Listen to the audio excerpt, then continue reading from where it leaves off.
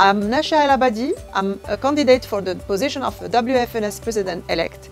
Beyond an electoral program, I have a vision for world neurosurgery, a vision for better governance, a vision for cohesion and unity, a vision of participatory management making the most of all the synergies of our world.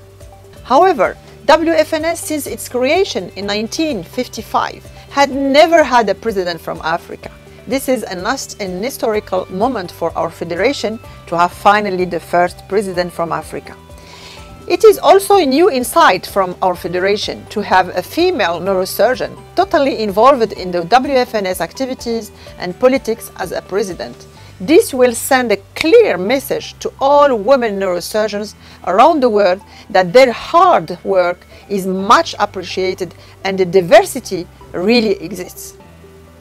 I am running for the position of president-elect because I feel the capacity and the dedication to spur the teamwork of the WFNS Administrative Council and to run the federation.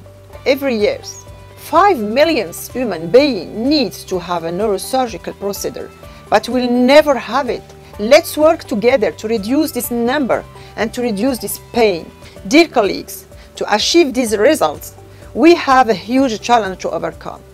If you entrust me with the responsibility of WFNS President-elect, together we can restore the integrity and respect that deserves our global neurosurgery. Humanitarian, more than 20, 20 missions in Asia and Africa, I believe in one word, one neurosurgery.